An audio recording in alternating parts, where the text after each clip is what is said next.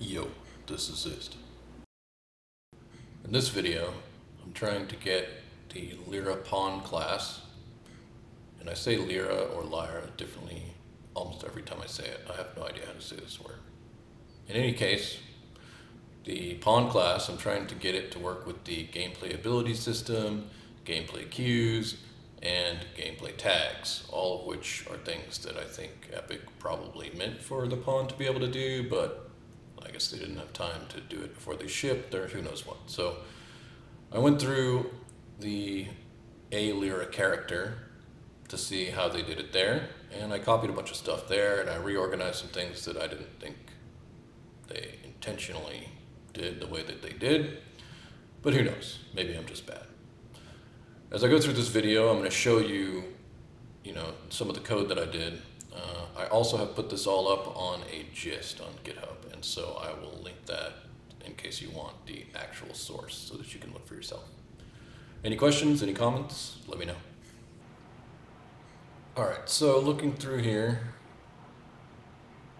there are these uh, classes here that I had to modify. And this is base Lyra code and Lyra game. Mainly I'm just exposing these.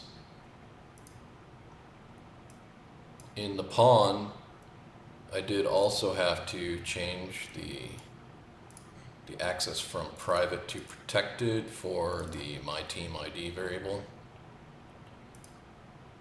This is just exposed, exposed, exposed. So the only change other than exposing was in the pawn, which is changing the scope of my team ID to be protected rather than private. Looking in the code here, uh, in general here I have this Xist Core Lyra game feature plugin and my idea is that this is going to be reusable code that any project that I make based on Lyra will inherit. Kind of the difference between shooter core and shooter maps, you know, they put their core in here. So this is my core and I have here really the only things that are of interest at the moment are this pawn, XCL pawn, which is this class right here. Uh, all of this stuff, in my mind, should really be in the base Lyra pawn, but it's not. Um, in particular, this, they implemented most of the team-based stuff, but they just left this out. I guess it's just an oversight. So this I added, but then again, you know, pawn extension component. Uh, if we look in here, where's the pawn extension component? Yeah, if we look in here, it says, look, component used to add functionality to all, all pawns. However, they did not implement it in their pawn class. So, all right. So basically, I need to do that. So we create this here. Uh, this is the method that they left out related to teams. And then this stuff here is all just getting the pawn extension component working. Um, then we also have the ability system and tag implementation.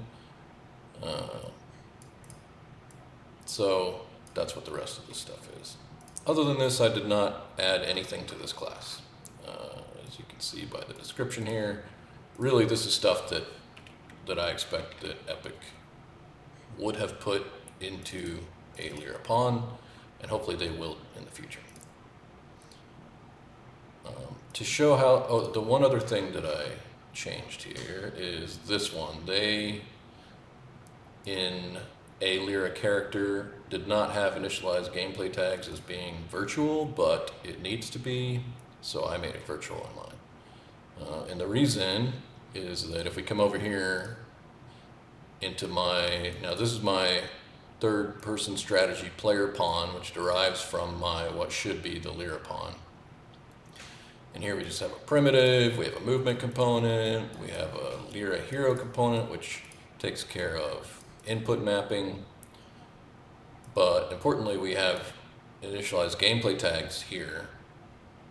And if we go down here, that is, all this does is it's calling the base class and then it's specifically setting the movement tag to be I'm a flying pawn, which is that's that's what my pawn is.